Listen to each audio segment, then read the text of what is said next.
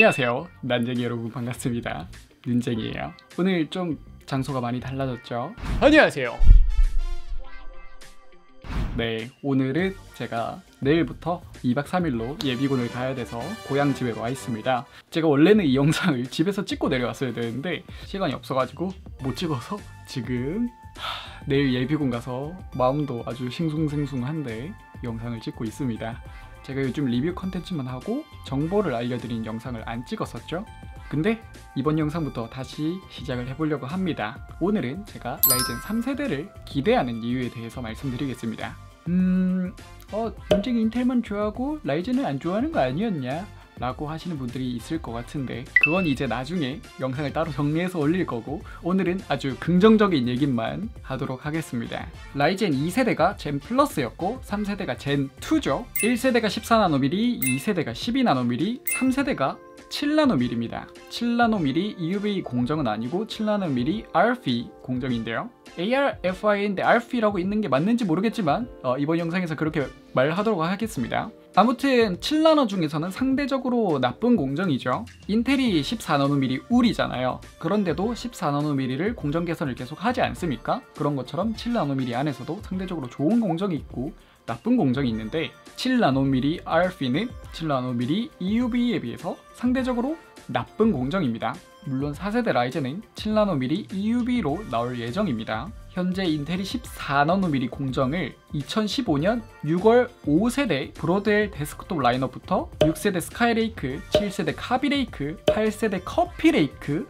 9세대 Coffee Lake Refresh까지 14나노밀을 플러스 플러스로 두 번이나 공정 개선을 시키면서 계속 이어나가고 있어요.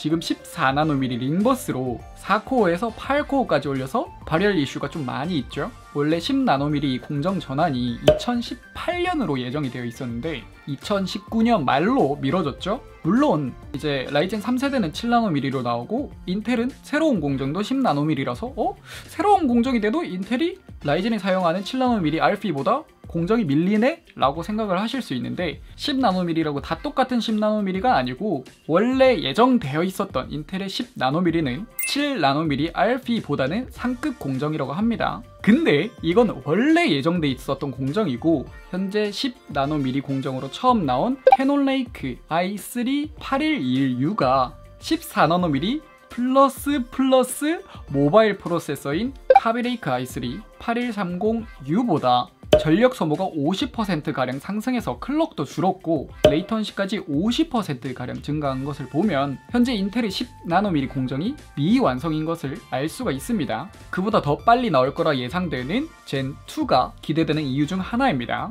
그러면 지금부터 젠2의 팩트와 루머에 대해서 알아보도록 하겠습니다. 팩트 첫 번째, I/O die와 core die가 분리돼서 구조가 꽤 크게 바뀌었습니다. 이게 여러 가지 추측이 있는데 I/O die와 core die가 분리됐으니 latency가 더 길어졌을 거다 라는 추측이 있고요. 저 구조가 latency를 더 줄였을 거다라는 추측이 있습니다. 현재 이렇게 나옴으로 인해서 latency가 어떻게 바뀌었는지에 대한 팩트는 없지만 후자로 나왔으면 좋겠네요.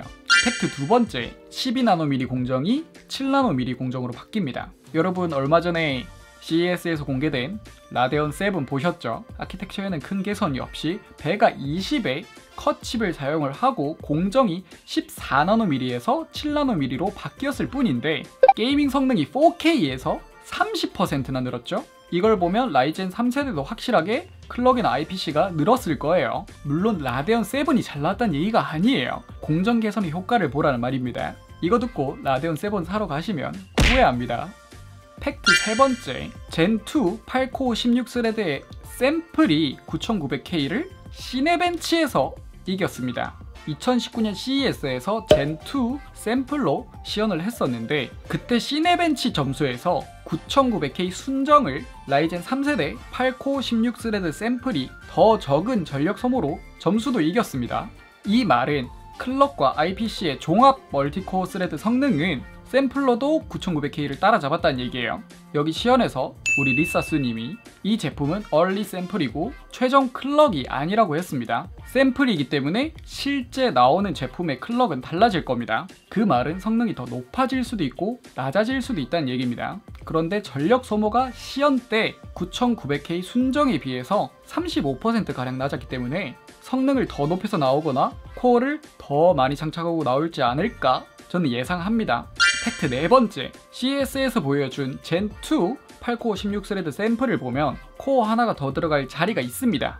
여기까지 팩트고 예상을 해보면 4코어 die를 하나 더해서 12코어 24스레드로 제작을 하거나 8코어 die를 하나 더해서 16코어 32스레드로 만들 수 있을 것 같습니다. 여기까지 팩트만 보면 공정 개선으로 전력 소모가 엄청나게 감소를 했고 IPC하고 클럭이 많이 상승해서 CPU의 성능은 많이 개선될 것으로 보여요. 여기 예상을 더하면 12코어 24스레드나 16코어 32스레드도 충분히 가능해 보입니다. 그럼 루머들을 정리해보죠. 기존에 성능 루머가 많이 나왔었지만 팩트로 Cinebench에서 9900K를 이겼기 때문에 그거 아래로 예측한 루머들을 전부 다 제외를 시키면 가장 먼저 나왔던 AdoredTV의 루머입니다.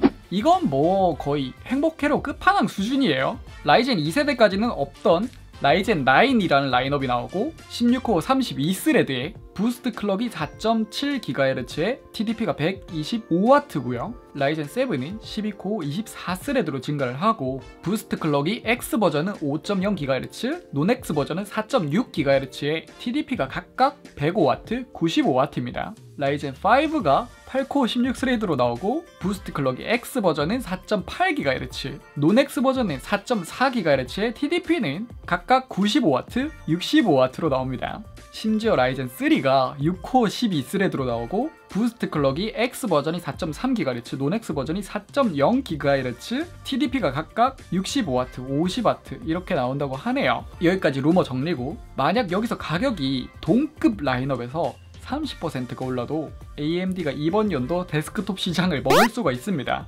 만약 이대로 나오면 저 방송컴 7980X 버리고 라이젠 9으로 갈아탑니다. 루머 두 번째 der8auer의 말입니다. 에이수스에서 지원하는 유명한 독일의 overclocker인 der8auer가 라이젠 3세대 5GHz가 매우 현실적이라고 생각을 하고 업계 소식통을 받았다고 합니다. der8auer가 이렇게 얘기를 한 거 보면 충분히 믿을만해 보여요.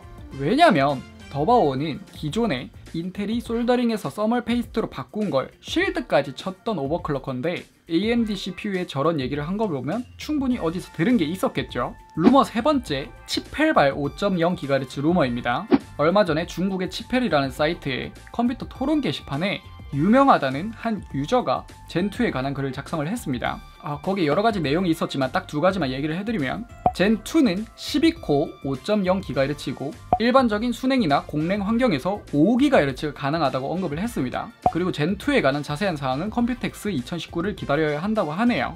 뭐 더 있겠지만 요 정도만 보면 5GHz 관련 글들이 꽤 나오고 믿을 만한 사람까지 5GHz를 언급을 한 걸 보면 overclock을 한다면 충분히 가능해 보입니다. 진짜 간단하게 보면 2700X의 Cinebench 점수가 약 1750점 정도 되고요. 젠2 8코어 16스레드 샘플이 2057점이었으니까 18% 정도의 성능 개선이 있었다는 건데 이게 IPC하고 클럭이 전부 합쳐진 성능 향상이기 때문에 클럭만 올라가지는 않겠지만 샘플에서 저 정도 향상이고 실제로 더 높은 클럭으로 나온다고 가정을 하면 5GHz도 충분히 가능하지 않을까 생각을 합니다. 물론 여기까지는 IPC나 클럭 개선에 관한 팩트나 루머밖에 없습니다. 지금 라이젠에서 여러 가지 문제점이 있지만 그 중에 gaming 성능에 엄청나게 크게 영향을 미치는 게 latency가 좀 높다는 부분인데 이 부분이 얼마나 개선이 됐는지가 가장 중요하지 않을까 생각합니다. 만약에 CES에서 시연할 때 latency에서조차 엄청나게 개선이 있었다면 9900K 하고 Cinebench만 비교하지 않고 gaming bench도 비교를 했겠죠. 근데 비교를 안 했다는 건 그 당시에는 latency 부분에서는 엄청나게 개선이 없지 않았을까 유추를 해봅니다. 물론 코어 개수 많아지고 클럭 증가하고 IPC 증가하면 gaming 프레임도 꽤 많이 오르겠지만 프레임의 안정성은 latency의 영향이 좀 크기 때문에 그것까지 개선돼서 나온다면 좋을 것 같네요.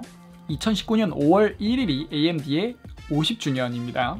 행복 회로를 돌리면 젠2가 그거에 맞춰서 나오지 않을까 생각을 하는데 이건 솔직히 제 희망사항이고요.